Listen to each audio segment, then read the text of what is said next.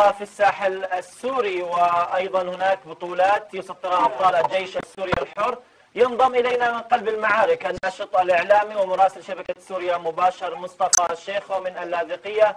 السلام عليكم أخي مصطفى. وعليكم السلام أخي الكريم. حياكم الله سيدي الكريم. حياك الله وبياك. اطلعنا على الأوضاع الميدانية التي وثقتموها اليوم في مدينة اللاذقية وريفها. من قلب المعارك لديكم وأيضا كما علمنا بأنه معك أحد المجاهدين الذين سنتواصل معه إن شاء الله بعد حديثك معنا. نعم أخي الكريم الوضع العسكري في منطقة اللاذقية في الساحل هو في أشده الاشتباكات العنيفة التي دارت منذ يومين في جبال تشالما استمرت حتى هذه اللحظة لكنها قبل قليل هذه الاشتباكات أصبحت متقطعة.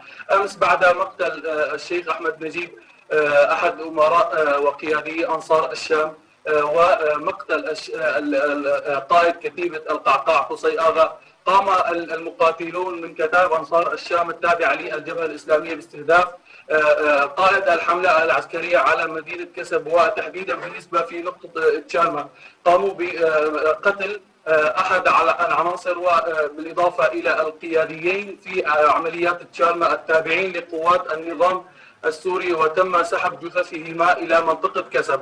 القصف العنيف لم يهدأ على مدينة كسب براجمات الصواريخ كما ردت الكتائب والفصائل المتواجدة في المنطقة براجمات الصواريخ وردت بالصواريخ محاليد الصنع والقذائف المدفعية وأيضا مدفع جهنم أو بما يعرف مدفع 57 هذا المدفع الذي ظهر له أثر كبير في هذه الاشتباكات وقاموا أيضا بكمين محكم للسيارتين كما ذكرتم في أنبائكم قبل قليل سيارتين تم ضربهما وقتل من فيهما في منطقة تشالما ورصد العناصر المتواجدين على قمم الجبال لحد هذه اللحظة تم منع قوات النظام من السيطرة الكاملة على قمة تشالما هذه القمة التي تعد بمثابة قمة ال 45 إلى الآن لم يسيطر عليها أحد من قوات النظام السوري.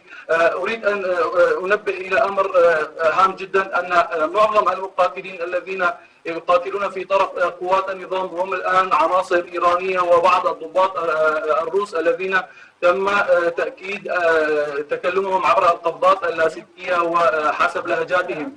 هم الآن يقاتلون مع قوات النظام. حشد كبير أتى به جيش النظام مع قوات الدفاع الوطني التي التي يرأسها علي كيالي في قمة تشال مع المعارك العنيفة التي دارت إلى هذه اللحظة وحتى هذه اللحظة هي لصالح قوات المعارضة السورية في المنطقة وقوات فصائل الأنفال.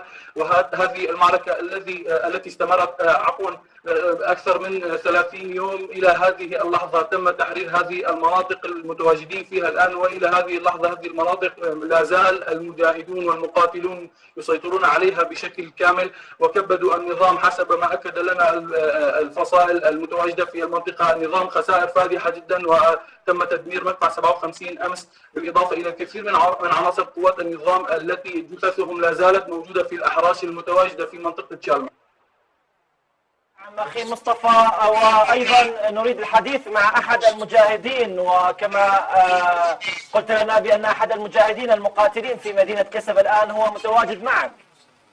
أخي كريم معي أحد المقاتلين المجاهدين في المنطقة من أصحاب العمر الكبير والمسلمين وأحد أبنائه الشهداء. يريد أن يتواصل معكم بعد أن طلب مني ويريد أن يتحدث بهذه القناة الكبيرة. نعم تفضل. السلام عليكم.